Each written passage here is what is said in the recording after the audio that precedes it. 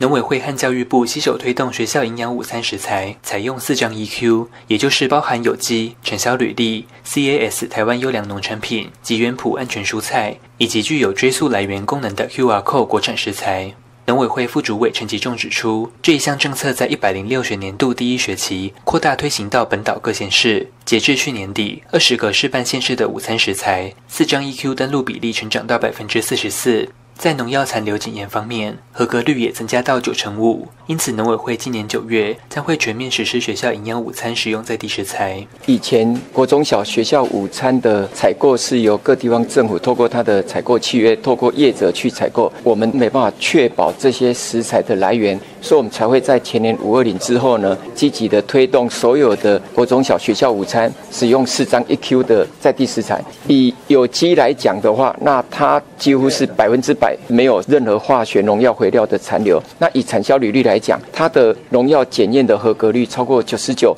以上。所以为什么要采用四张一 Q 的在地食材？除了确保是国产以外，它的安全性也相对于没有标章制度的食材更安全。除了鼓励校园推动四张 EQ 食材外，农委会也协同国防部，从去年九月开始试办推动国军副食采用国产可溯源蔬菜，并由中华民国农会、台湾农业合作社联合社等单位配合供应。试办三个月期间，供应国产可溯源蔬菜比例已经达到国军副食蔬菜采购量的百分之二十三。农委会未来也会持续推广追溯追踪系统，兼顾生产者收益及食品安全，期待能共同开创食安新局。